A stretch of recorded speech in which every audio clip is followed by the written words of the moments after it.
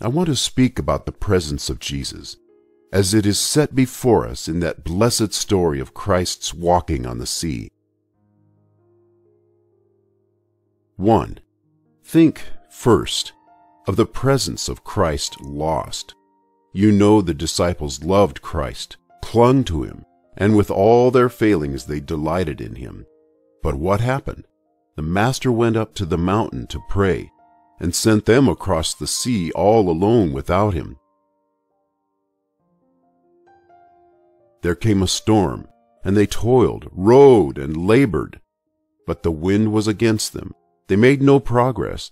They were in danger of perishing. And how their hearts said, Oh, if the Master only were here! But his presence was gone. They missed him. Once before they had been in a storm, and Christ had said, Peace, be still, and all was well. But here they are in darkness, danger, and terrible trouble, and no Christ to help them. Ah, isn't that the life of many a believer at times? I get into darkness. I have committed sin. The cloud is on me. I miss the face of Jesus. And for days and days I work, worry, and labor, but it is all in vain, for I miss the presence of Christ. Oh, beloved, let us write that down. The presence of Jesus lost is the cause of all our wretchedness and failure. 2. The presence of Jesus dreaded. They were longing for the presence of Christ, and Christ came after midnight.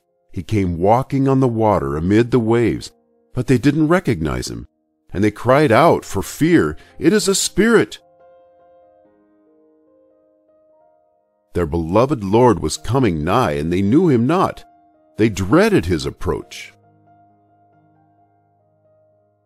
And ah, how often I have seen a believer dreading the approach of Christ, crying out for him, longing for him, and yet dreading his coming. And why? Because Christ came in a fashion that they expected not. The presence of Christ dreaded. Oh, beloved, I want to tell you it is all a misconception.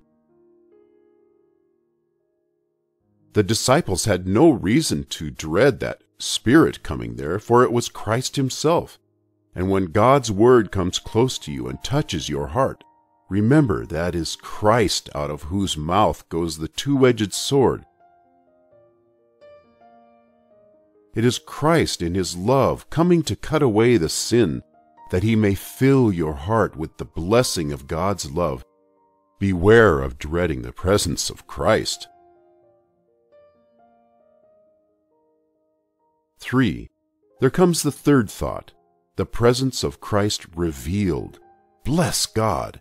When Christ heard how they cried, he spoke the words of the text, Be of good cheer, it is I, be not afraid. Ah, what gladness those words brought to those hearts. There is Jesus. That dark object appears, that dreaded form. It is our blessed Lord Himself. And dear friends, the Master's object, whether it be by affliction or otherwise, is to prepare for receiving the presence of Christ. And through it all, Jesus speaks, It is I, be not afraid. The presence of Christ revealed. I want to tell you that the Son of God, O believer, is longing to reveal himself to you. Listen, listen, listen. Is there any longing heart? Jesus says, Be of good cheer, it is I. Be not afraid. Amen.